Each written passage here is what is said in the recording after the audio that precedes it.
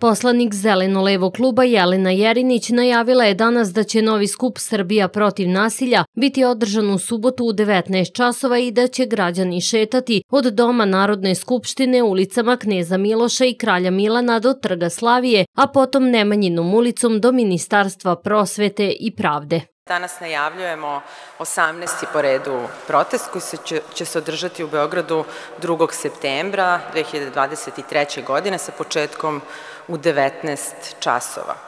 E, kao i obično, u subotu ćemo se okupiti ispred Narodne skupštine. E, protest e, ovo nedeljni biće posvećen temama obrazovanja i temi vladavine prava. Kretaćemo se ulicom Kneza Miloša, zatim srpskih vladara, preko Slavije, odatle ćemo otići u Nemanjinu, ispred sedišta Ministarstva prosvete i Ministarstva pravde, gde će se protest i završiti. Protest će biti posvećen podršci policijskim inspektorima Slobodanu Milenkoviću i Dušanu Mitiću, koji su otkrili najveću plantažu marihuane u Evropi na poljoprivrednom dobru Jovanjica, izjavila je Jelena Jerinić. Danas sve što treba da znate o vladavini prava u Srbiji jeste da oni koji se bore protiv kriminala, odnosno oni koji hapse kriminalce, se progone, njihova je bezbednost ugrožena i oni se, koliko god je to moguće, sklanjaju.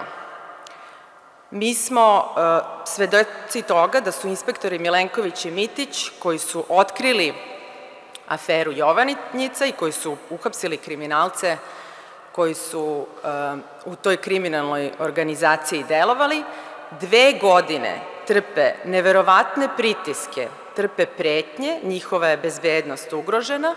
U parlamentu su danima bili napadani od strane ministra unutrašnjih poslova koji bi trebao da ih zaštiti kao svoje kolege i kao one koji rade za državu, a umesto toga on je stao na stranu optuženih kriminalaca.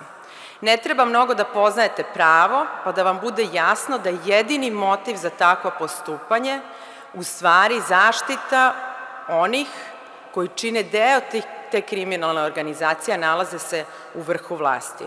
Poslanica kluba Zajedno Danijela Nestorović izjavila je da su inspektori Milenković i Mitić smenjeni na nezakonit način, jer je rešenje o njihovom premeštaju potpisao šef kabineta ministra policije Dejan Bojović. Ministar Gašić je uh, i pre usvajanja novog zakona o policiji na nezakonit način uh, rešenjem koje je potpisao šef kabineta ministra policije Dejan Bojović, a svima, svim vama novinarima je vrlo dobro poznata afera koja je vezana za Dejana Bojovića kada je pokrenuo lažni disciplinski postupak protiv inspektora Dejana Jovića koji je kasnije i preminuo.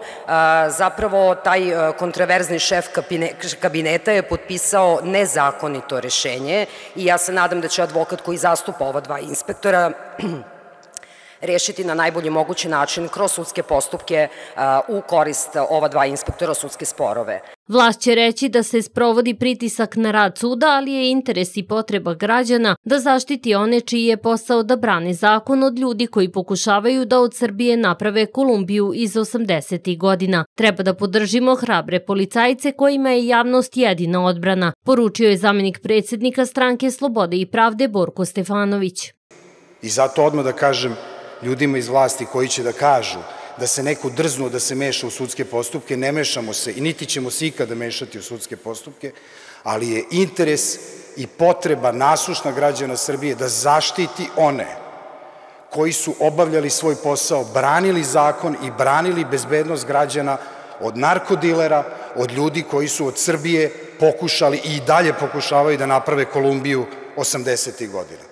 Zato nam je svima mesto tamo i jako mi je drago da ime svih kolega iz opozicije mogu da kažem da ćemo svi biti tamo i da ćemo dati podršku hrabrim ljudima koje je javnost i građani Srbije jedina odbrana i od kaštigovanja i od smena i možda od ugrožavanja njihove fizičke sigurnosti. Na konferenciji je rečeno i da će imena govornika biti naknadno objavljena.